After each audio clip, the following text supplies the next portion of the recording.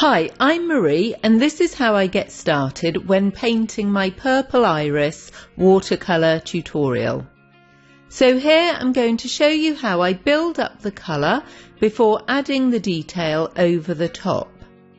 I really love getting the strongest areas of colour down first and I'm careful to make sure that my colours don't run into each other and become muddy as I really like them to be as deep and rich and vivid as possible. So I build the colours up in layers before adding my detail over the top. Then I can start painting in these delicate veins and building them up down the length of my iris. Once I've painted in these distinctive veins, I can then add more washes to enhance the overall colour, but I'll already have my main areas of deep colour in place.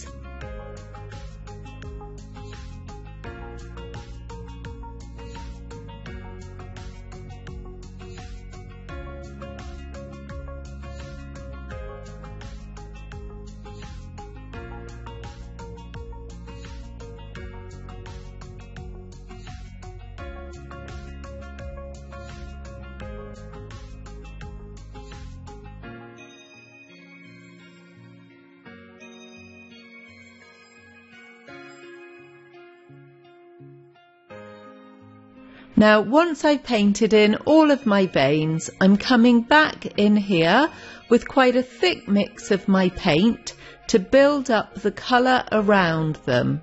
So this will also help the veins to settle in and look more natural as well. Then once I've finished with the main petals, I come up to the bearded part of the iris and start to build these up. I'm using three different variations of my yellow here.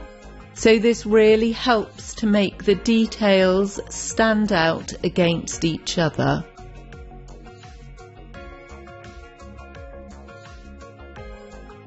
If you'd like to take the whole step-by-step -step tutorial of this iris painting, come on over to the Watercolour Members Club and take a look at this and all of our other tutorials as well.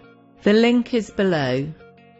If you've enjoyed watching, please like and subscribe to see more upcoming tips and technique videos. Happy painting and see you for the next one.